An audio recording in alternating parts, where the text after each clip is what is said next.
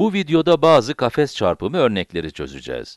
Ve başka bir videoda da bunun neden işe yaradığını inceleme fırsatımız olacak. İlk örneğimiz 27 çarpı 48 olsun. Önce 27'yi yazalım. 2 ve 7 ayrı sütunlarda olacaklar. Sonra da sağ tarafta ve yukarıdan aşağı olacak şekilde 48'i yazalım. Sonra kafesimizi çizelim. Zaten bu yüzden kafes çarpımı diyoruz ya. 2'nin kendi sütunu olacak. Yine 7'nin de kendi sütunu olacak. Sağ tarafta da 4'ün kendi satırı olacak ve 8'in de kendi satırı olacak. Kafes çarpımının en eğlenceli kısmı, tüm çarpım işlemlerini tek seferde yapmanız ve sonrasında işlemi toplama yaparak bitirmeniz. Yani burada klasik çarpma işleminde olan basamak kaydırma ve artan değerleri ekleme gibi işlemler yapmıyoruz. Artan değerleri taşıma kısmen olsa da bunu ekleme esnasında yapıyorsunuz. Evet, kafesimiz neredeyse tamamlandı. Ancak son olarak köşegenlerimizi de eklemeliyiz. Bir sonraki videoda bu köşegenlerin neden işe yaradığını göreceğiz. İşte böyle. Evet, artık çarpma işlemine geçebiliriz. 7 çarpı 4 eşittir 28. 28'i de gördüğünüz şekilde yazıyoruz. 2 çarpı 4 de eşittir 8. Bu durumda da ilk kısma 0 ve ikinci kısma 8 yazıyorsunuz. İşte böyle. Sonra sıra 7 çarpı 8'e geliyor. 7 çarpı 8 eşittir 56. Buraya 5 ve buraya da 6 yazıyoruz. Son olarak da 2 çarpı 8 eşittir 16. Buraya 1 ve buraya da 6 yazıyoruz. Böylelikle tüm çarpma işlemlerini tamamlamış oluyoruz. Toplama aşamasına gelmiş olduk. İlk olarak buradaki köşegene, yani birler köşegenine gidiyoruz. Ve bu ilk bölmemizde sadece 6'nın olduğunu görüyoruz. 6'yı gördüğünüz şekilde yazıyoruz. Sonra diğer köşegene gidiyoruz. Bu köşegenin altında da 6, 5 ve 8'in olduğunu görüyoruz. Bu köşegenimiz onlar köşegeni. 8 artı 5, 13 eder ve 13 artı 6 da 19 eder. Dolayısıyla onlar basamağına 9 yazıyoruz.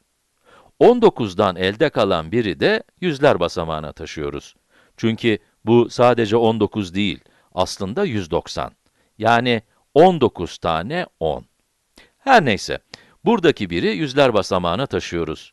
2 artı 1 eşittir 3, 3 artı 8 eşittir 11, 11 artı 1 eşittir 12. Yüzler basamağına da 2 yazıyoruz. Buradan elde kalan biri de binler basamağına taşıyoruz. 1 artı 0 eşittir 1.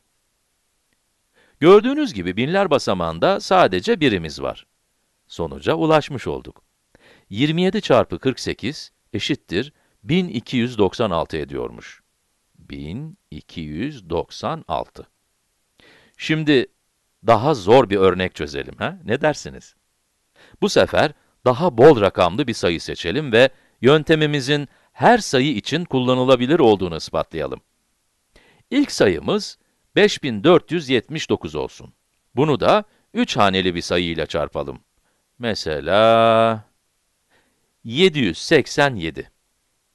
Önceki örnekte yapmış olduğumuz gibi rakam sayısı kadar yani 4 tane sütun çizelim.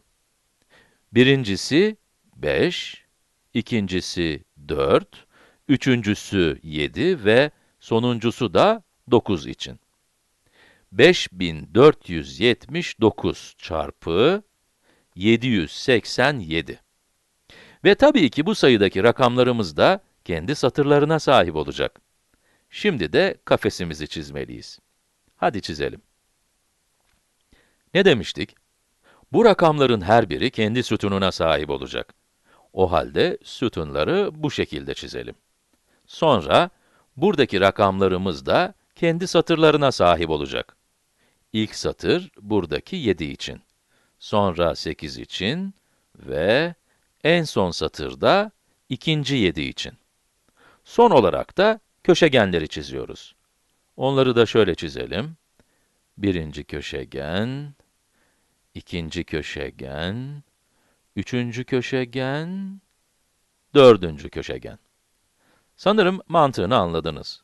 Ve son olarak iki köşegen daha çiziyoruz. Evet, yine çarpma işlemine geçebiliriz. 9 çarpı 7, çarpım tablosunu biliyoruz. O nedenle bu çarpımı ayrı bir yerde yapmayacağım. 9 kere 7 eşittir 63. 7 kere 7, 49. 4 kere 7, 28. 5 kere 7, 35. Yeni çarpma işlemi için kafamıza göre yeni bir renk seçelim. 9 kere 8, 72 eder. 7 kere 8, 56 eder. 4 kere 8, 32. 5 kere 8 de 40. Rengi yeniden değiştiriyoruz. 9 kere 7, bunu az önce görmüştük, 63. 7 kere 7, 49. 4 kere 7, 28 ve 5 kere 7 eşittir 35. Böylelikle tüm çarpımları yapmış olduk. Şimdi çarpma modundan toplama moduna geçebiliriz. Toplama işlemine geçmeden uygun bir renk seçelim. Pembe harika olur. Her zaman olduğu gibi birler basamağından başlıyoruz. Gördüğünüz gibi birler basamağında 3 var ve bu 3'ü birler basamağına yazıyoruz. Onlar basamağına geliyoruz. 2 artı 6 eşittir 8. 8 artı 9 eşittir 17 eder. 7'yi onlar basamağına yazıyoruz ve 1'i de yüzler basamağına taşıyoruz. Bu 1'i şuraya küçük bir şekilde yazıyoruz. 1 artı 3 eşittir 4, 4 artı 7 eşittir 11, 11 artı 6, 17, 17 artı 4, 21, 21 artı 8 eşittir 29. 9'u yüzler basamağına yazıyoruz ve 2'yi de binler basamağına taşıyoruz. 2 artı 6 eşittir 8. 8 artı 9 eşittir 17. 17 artı 5 eşittir 22. 22 artı 2 eşittir 24. 24 artı 2, 26. 26 artı 5, 31. Yine 1'i yazıyor, 3'ü taşıyoruz. 3 artı 4 eşittir 7.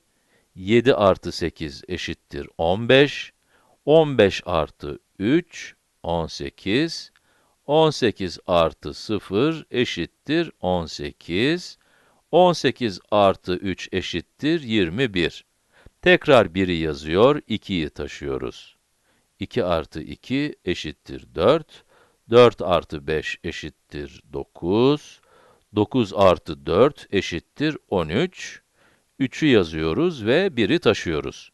Ve 1 artı 3 eşittir 4. Çarpma işlemleri bitmiş oldu. Aslında her şey bu kadar kolay.